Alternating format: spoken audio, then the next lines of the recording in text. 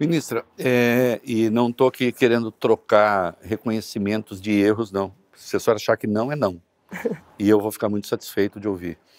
A senhora acha que também na sua trajetória, e a, senhora fala dessa curva de aprendizagem, eu gosto muito dessa imagem, né, que eu sei que vem da, da ciência, da pedagogia, a senhora acha que cometeu também algum erro em algum momento de incompreensão, de eventualmente ficar excessivamente focada naquilo que precisava ser feito e ignorando que há pessoas que estão vivendo ali, muitas vezes elas também são vítimas e não agentes, por exemplo, da degradação ambiental? Posso completar a pergunta? Qual é o modelo de sociedade, que, que, que, que medida de refluxo uh, capitalista industrial, da sociedade industrial, é necessário se construir para o futuro para que nós sobrevivamos. Uh, o que está na cabeça dos ambientalistas como modelo de sociedade? Eu tive na Amazônia, a senhora sabe, recentemente, uhum. com a nossa amiga comum, a Neca. A Neca, querida. Né? Neca, é, quem é a Neca? Neca Setúbal, nossa amiga é. É, é comum. Maria Alice Setúbal. Isso, também conhecida que é, Neca Setúbal. Que, que, é uma militante em defesa isso, da, da, preservação ambiental. Isso, isso. educadora. Educadora. Muitas uma, figura, uma figura brasileira, uhum. figura humana e, e de importância intelectual ímpar. Mas uh, nós, uh, o, que, o, que, se percebe ali é que muito pouca perspectiva de sobrevivência para aquela população uh, amazônica. Né? As pessoas se veem na necessidade de vender árvores para as madeireiras, muitas vezes. Como é o, qual é o modelo socioeconômico, de relação social, de relações sociais, de relações econômicas que a senhora tem para o Brasil e para o mundo, sobretudo para o Brasil nesse primeiro momento, que respeite o meio ambiente? Como é que nós conseguimos, diante do avançado grau de industrialização do mundo, uh, do consumismo, dos desejos uh, úteis e inúteis das pessoas, regredir em termos de destruição do planeta? Bem, Bem a primeira. Só para completar. É, a primeira do Reinaldo, se eu já né, faço autocrítica. Olha, tem muitas coisas que eu, eu, eu vejo na minha trajetória, no meu percurso, que eu tenho sim uma curva de aprendizagem, um olhar de autocrítica. E eu posso citar dois, dois momentos que são muito marcantes. A senhora é maravilhosa. A senhora sabe quando o entrevistador vai perguntar, por exemplo, e a senhora mesmo se antecipa e vai dar o exemplo. é, então, um deles é de natureza política mesmo, né? Eu comecei a minha militância socioambiental muito jovem, aos 17 anos. Eu já era um ambientalista, digamos, orgânico, natural, mas eu não tinha uma consciência política de que aquilo era ambientalismo, né? Aí eu fui fazer um curso da Pastoral da Terra aos 17 anos com o Clodovis é, Boff e o Chico Mendes, e aí me integrei na luta e comecei a adquirir consciência política e aprendi com o Gabeira, com o Serquis, com um monte de gente que aquilo era a defesa da ecologia, aquilo que nós fazíamos na prática, não é? Então, é, mas era uma luta tão cruel, tão difícil, que eu era uma militante assim bem, eu diria, sectária, politicamente falando, né?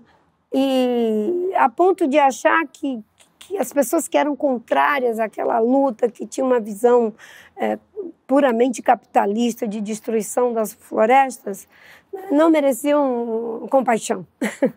eram inimigos mesmo. E, em, em, vários aspectos, eram, assassinaram muitas pessoas. Né? Mas eu vivi em 91 um problema de saúde gravíssimo. Eu fiquei um ano e oito meses numa cama. E eu aprendi o que, que é mais importante nesse universo, que é a vida. E aprendi que a minha vida é tão valorosa quanto a vida de qualquer pessoa. E eu fiz uma mudança completa na minha vida. Parente conhecido com a sua conversão quando a senhora Sim. passa a ser evangélica, é, né? Eu fui pra... Depois a gente pode até voltar a esse Isso. assunto. Né? Eu era católica, praticante, eu quase fui freira, não é? E eu vivi essa experiência, um ano e oito meses numa cama. E cinco anos depois. Qual era a doença, ministro? Olha, eu tenho uma, uma contaminação com metais pesados em função do remédio que eu tomei para leishmaniose.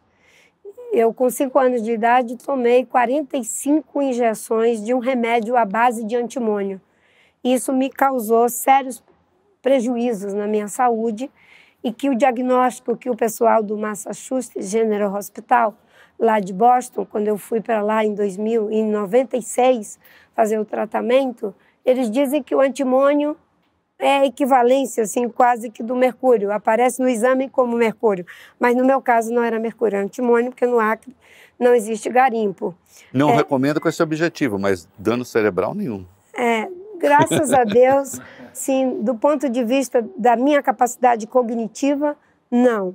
Mas é, a minha acuidade visual nesse período ficou muito comprometida, os meus movimentos ficaram muito comprometidos, né? E eu fui sentindo muitos problemas neurológicos, não é? De ver as coisas duplas, por exemplo, né?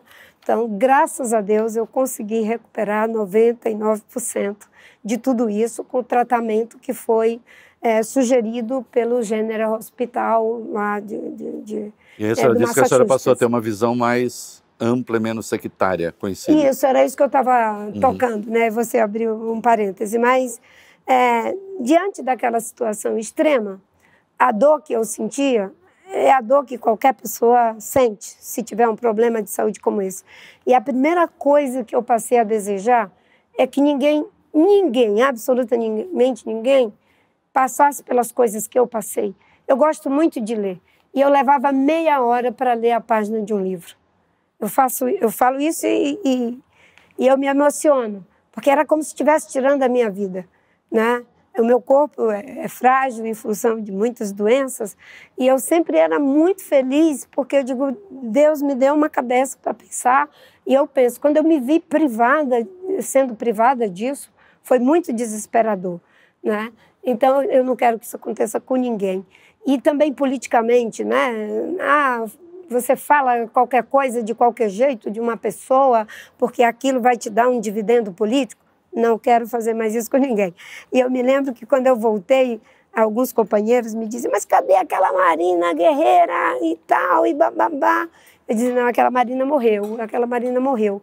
Né? E a partir daí eu fiz uma autocrítica dessa forma, de às vezes falar as coisas sem cuidado. Por exemplo, é, eu não consigo, o, o escândalo da bicicleta com aquele ministro... Alceni Guerra. Alceni Guerra né? Foi uma denúncia que foi feita, que depois ficou comprovado que não era verdade. Eu encontrei aquele homem fazendo terapia lá no Sara, quando eu tive que ficar internada lá, né? fazendo terapia das consequências do que ele passou. Sabe que eu me lembro de uma imagem do Alceni, é, na verdade, do filho dele sentado meio fio com a bicicleta, porque quando essas pessoas são submetidas a esse, destruição essa destruição moral, os filhos vão junto sem que possam se defender. Sim. É um negócio terrível. É, e aí ele tinha tido um AVC e estava lá fazendo terapia, né? E, e aí a filha dele, ah, senadora. E aquilo, isso já anos depois, eu já era senadora, né? Então, essas coisas a gente tem que ter muito cuidado, né? É por isso que eu, então, essa é uma autocrítica de natureza política. E a outra, vindo aqui para o terreno do, do ambientalismo, né? eu sempre tinha uma postura muito contrária ao manejo florestal. Eu era contra o manejo. Quando eu entrei no ministério, eu era contra. Aí a minha equipe fez uma reunião comigo, e o Tasso Azevedo, é, Beto Veríssimo, Carlos Vicente, Jorge Viana, que era engenheiro florestal, Capobianco, um monte de gente, e me trazia os dados, me mostrava uma forma de proteger a floresta é dando também, não apenas isso, tudo virar manejo, a gente acaba com a biodiversidade. Algumas áreas podem ser usadas para o manejo florestal e você tem uma atividade econômica rentável que vai passar de filho para neto, protegendo a floresta. E eu fui convencida, convencida de que era possível. Inclusive, tive que comprar uma briga com pessoas que me eram muito caras, como, por exemplo, é o nosso saudoso e querido professor Aziz Absaber, que foi contra a lei de concessão de florestas públicas. Né? Ele e alguns amigos também, que me são muito caros, mas o movimento ambientalista, né, toda a sociedade sabiam que esse era o caminho e nós fizemos as primeiras concessões para o manejo florestal sustentável, que se for aplicada da forma correta, inclusive agregando mudanças que nós já vamos fazer agora, nessa terceira oportunidade que o presidente Lula está me dando, vai ser de muita valia para a proteção da floresta. Então, são duas autocríticas, uma de natureza mais política e a outra de natureza na própria agenda que, eu, que você acaba de fazer autocrítica também.